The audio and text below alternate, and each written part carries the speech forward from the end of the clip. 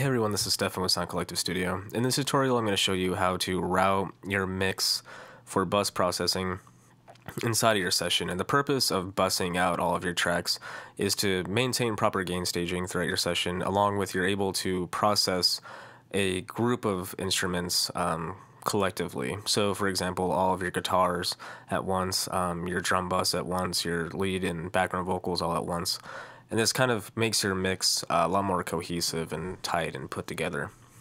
So I'm going to do a quick playback of the current mix as is. It's not finished yet, um, but just so you can see where how much headroom each collection of instruments is kind of taking up within the buses. So I'll start the playback now, and I want you to pay attention to the faders down here, the dB.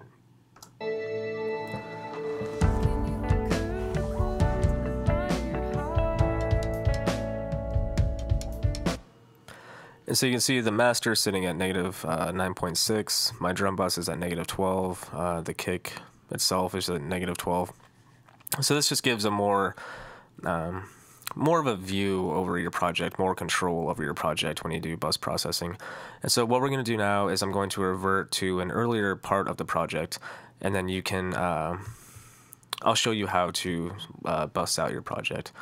So if you go to File and Alternatives, and if you're unfamiliar with alternatives in Logic Pro 10, I do have a tutorial uh, kind of going over it, and uh, it's pretty sweet. You can see it's super fast. So here is the beginning of the project, not the beginning, but I've done the editing and color coding and such, and this is the next step in my process in terms of mixing. Um, I will, all I've done with the faders, I've just dragged them down to negative 11, and you know before I even start my static mix, I create my buses.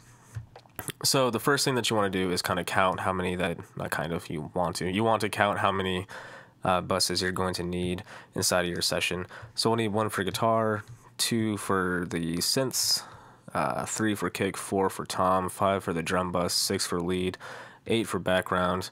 Don't need a Vox, so we're gonna need about 10. I usually create an extra one just to be safe. Okay, so to create a um, auxiliary track, which is what we'll route to the buses inside of Logic Pro 10, is you hold Control and N. So Control N will create auxiliary tracks inside of Logic.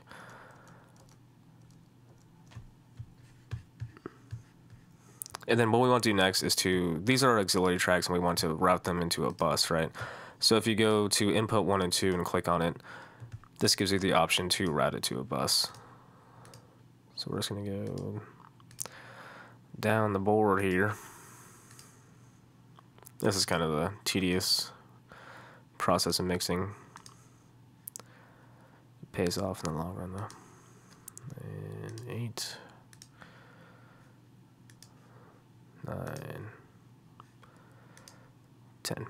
Cool. So the next thing that you want to do is to, of course, name your uh, buses. You always want to name everything in your session, especially if you're sending it to somebody else. So we have guitar, Synth, kick, snare,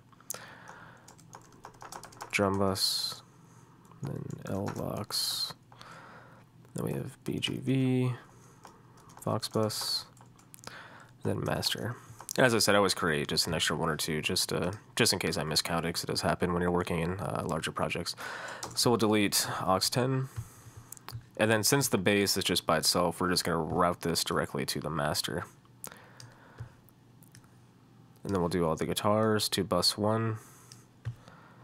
Keys will go directly towards the master, or into the master. These are going into the synth. These are going into the kick.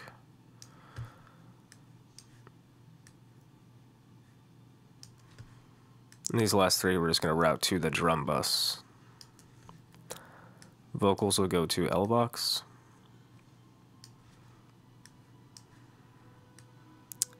And backgrounds to backgrounds.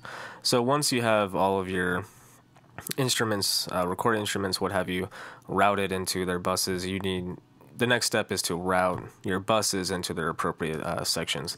And so we'll have the guitar, the synth, the drum bus, and if you hold command, that's what allows you to uh, select tracks with uh, gaps in between. and then we'll do the Vox bus. These are all going into the master and the kick and snare are going to go into the drum bus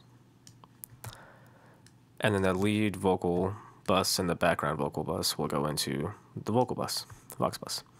And to bring these to Unity, uh, you just select all, hold Option, and click on the fader, and they'll bring that to to Unity Gain. And so that's how you uh, route your session for, for busing. It looks a lot more complicated than it is. Once you practice it inside your DAW, um, you'll see kind of the simplicity and the benefits of doing so. Every professional mix will have bus processing, bus processing inside of it. Uh, so hopefully this video helped you guys. Um, if you'd like to see any specific tutorials, uh, please leave your comments in the comment section below. If you have any tips on uh, how I can make my tutorial tutorials better, please also leave them in the comment section. And if you liked the video, please like and subscribe. And thanks for watching.